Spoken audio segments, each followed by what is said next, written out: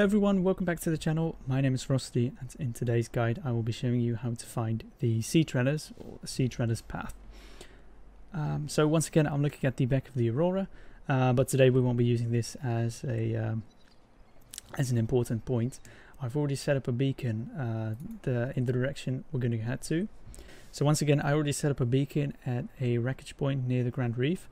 Uh, that's a very good um, mark that's a very good marker point um, of getting close to the uh, to the sea treaders. So let's head into the Seamoth and let's go there. So obviously you probably don't have the beacon set up, so just try to follow uh, as closely as you can with me. I'll uh, try to stick close to the ground. I'll uh, use my sonar sometimes, so it's easier for you to follow.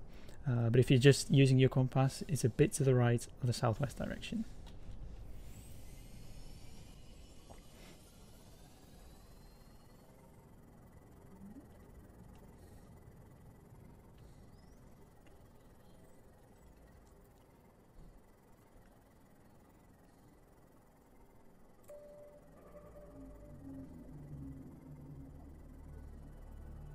Scans show a nearby cave entrance, depth 90 meters, leading to an unknown environmental biome.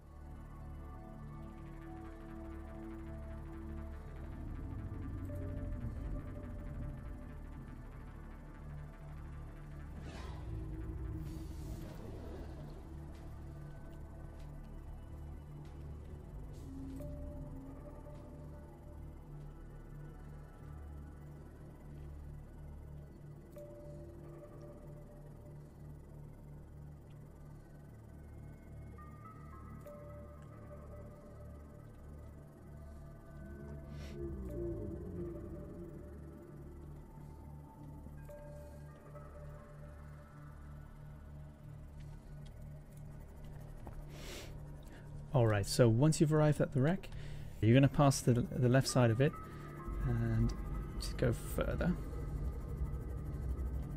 Now this is the part where it could become tricky because the path of the sea treaders is actually very close to the um, to the dead zone, or the, the you know the big cliff with the coastal leviathans. So just try to stick with me as close as you can.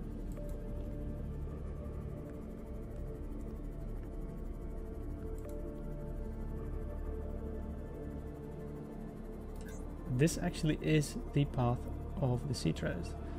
So as you can see, it's quite close to the uh, to the wreck. It's about 300 meters um, straight ahead when you pass the uh, the wreck on the left side. So let's just try to find them now.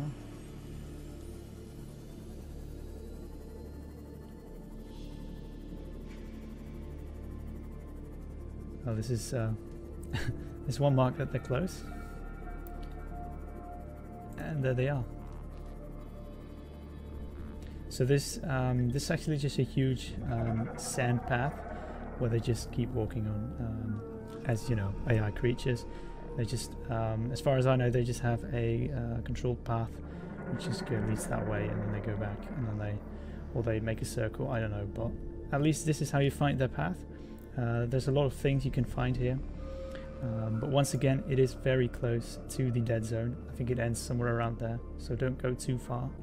You'll meet some ghost leviathans on the way, which uh, I can assure you is not something you'd want.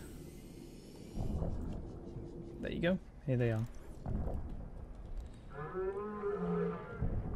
Alright, that sums up the video for today. I hope you found it useful. I know it was a request from someone, so hereby, I hope you found it useful. If it was, please leave a like and subscribe for more tutorials. And for now, I will see you in the next one. Bye.